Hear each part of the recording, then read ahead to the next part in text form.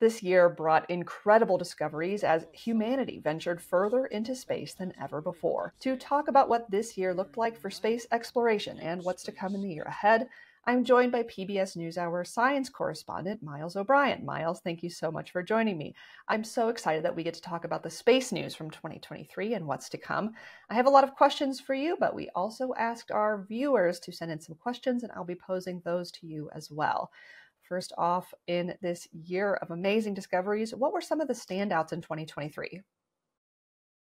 Well, Casey, maybe if we listen very quietly, we might be able to hear number one, which is, drumroll please, the hum of the universe. The hum of the universe. The Nanograv Observatory was able to pick up these waves detected by studying rapidly spinning dead stars, giant ripples in space time. And maybe, maybe might get us a little closer to the elusive hunt for dark matter, which is one of those things that just uh, we know is out there, but we haven't been able to find it. Uh, the James Webb Space Telescope, wow, th- there's so many uh, observations, so many amazing images. Fundamentally, James Webb is rewriting the astronomy textbooks right now, and it's changing a lot of theories about how the universe was formed, how expanded, and and why we're sitting here talking to each other, for that matter. Uh, OSIRIS-REx, love that mission. Hope you had a chance to follow it. It went off to the asteroid Bennu, which, by the way, is uh, Bennu's uh, potential threat to Earth in a couple of decades, if we don't watch it carefully, it will come pretty close. OSIRIS-REx, that was part of its mission to understand what Bennu is made of. So if we did have to deflect it, we would know exactly what to do. The James Webb Telescope revealed some stunning images of the universe. What were some of those highlights that we saw from the James Webb Telescope? Yeah, it just goes on and on. It's an amazing instrument, you know, after all the delays and expense and everything. And it's seeing these stellar nurseries, which we have never seen before, the youngest stars, how they form, high resolutions uh, of all kinds of images, uh, including these this uh, smallest brown dwarf ever captured on any image seen by human beings. It has captured stunning images of supernova in the near infrared light. It's looked at our own solar system, at Uranus, and it found a large polar cap on that planet. There's so many discoveries, it's hard to keep up with them. Uh, and every time, it seems that every time it, it, it points its gaze in any direction, uh, it changes the way we think about the universe. And, and so, you know, they're just getting started. They only launched in 2021.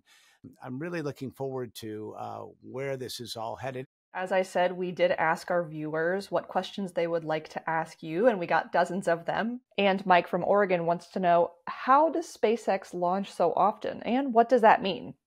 NASA, in its history, has never built its own rockets. It always had a contractor involved. What's different about SpaceX is the way that contract is negotiated. SpaceX retains a lot of autonomy, its own intellectual property, and sells its services back to NASA. It's not like a prescriptive kind of defense style contract as NASA did for so many years. And what that did is that really unleashed, um, well, it just gave SpaceX a tremendous amount of freedom to not only provide services for NASA, which of course kept the lights on as they were doing business, but also allowed them to take those same rockets, that same intellectual property, and sell them to commercial players. Couple that with that the Silicon Valley ethos, which of course Elon Musk brings to the table there, that kind of go fast and break things, you know, test and test and retest, and if it blows up, just test again, uh, as we've seen repeatedly, uh, has put them at at a, a launch tempo which NASA frankly could never come near to. Anant from Irving, Texas wants to know whether these many space launches are actually a contributor to climate change and pollution. They are. Right now, you would put it as kind of a rounding error number. Uh, and we're talking about, you know, of course, liquid hydrogen is one of the fuels that's in play here, but that does create water crystals at high altitudes, and that has a climate impact. Water is a greenhouse affected chemical, of course. There's other fuels involved. There's hydrazine based fuels. Some of those create black soot, that kind of thing, and do have an impact as well. Uh, and of course, CO2. Right now, up until recently, the number of launches has made that kind of somewhat insignificant piece of the puzzle. And when you consider the fact that some of these launches are designed to put satellites up there to help us understand climate change, it's probably worth it at the bottom of the ledger. But now that we get to 100 plus launches and beyond, it's time, I think, for the space community to start getting serious and start thinking about more sustainable ways of doing this.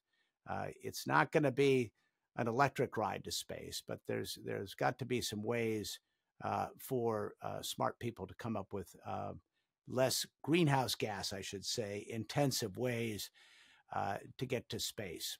Mars in 2024? Not Mars, but uh, that'll be that'll be great, wouldn't it? If we, if I, I hope to live to see it. You're young enough; you'll see it for sure. Miles O'Brien, thank you so much for joining me.